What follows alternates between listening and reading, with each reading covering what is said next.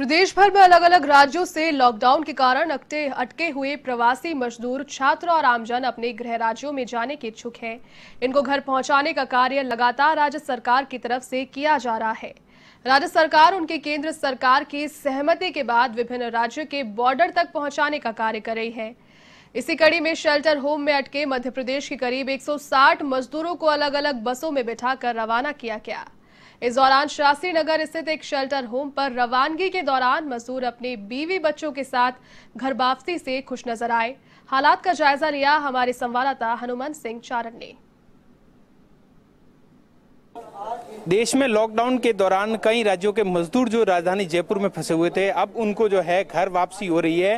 राज्य सरकार और जिला प्रशासन राज्य सरकार के आदेशों के बाद जिला प्रशासन को घर पहुँचाने का काम कर रहा है। आप देख सकते हैं कि ये लोग हैं जो सामान उठाकर, ये रोडवेज़ की बस है। इस बस के माध्यम से इसमें जो है वो मजदूर है जो यहाँ पर काम करते थे। मजदूर थे जो अन्य राज्यों के, खासतौर से ये मध्य प्रदेश के मजदूर है, जिनको यहाँ पर घर भेजा जा रहा है।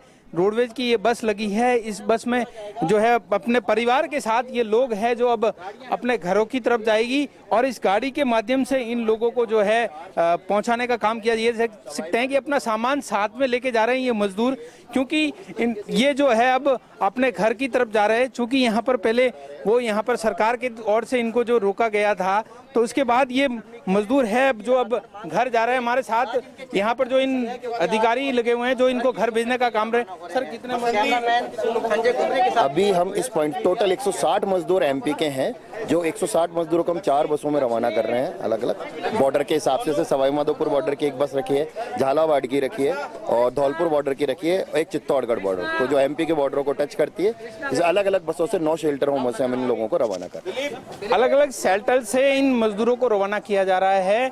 इनको यहाँ जो है एमपी बॉर्डर है, वहाँ तक छोड़ा जाएगा। तो ये बस है, बस का नज़ारा भी दिखाया आप देख सकते हैं। इन लोगों को जो है, यहाँ से इस, इसी बस में बिठाया गया है। इसके अलावा और भी बसेज हैं। उस बस के माध्यम से इन मजदूरों को घर पहुँचाने का काम किया जा रहा है। तो प्रशासन की तरफ़ से ये छोटे छोटे बच्चे भी हैं। आप देख सकते हैं कि जो अब जो है काफ़ी खुश नज़र आ रहा है, चूँकि इनकी घर वापसी हो रही है। लंबे समय से यहाँ पर अटके हुए थे। सरकार के आदेशों के बाद लॉकडाउन के चलते ये मजदूर पिछले करीब एक माह से यहाँ पर जो है अटके हुए थे। तो अब इनकी जो है घर वापसी हो रही है।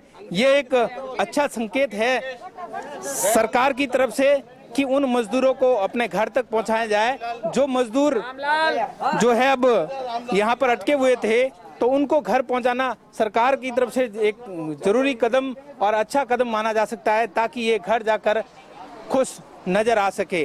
कैमरा पर्सन सुनील कुमार के साथ Hanuman Singh Charan A one TV Jaipur.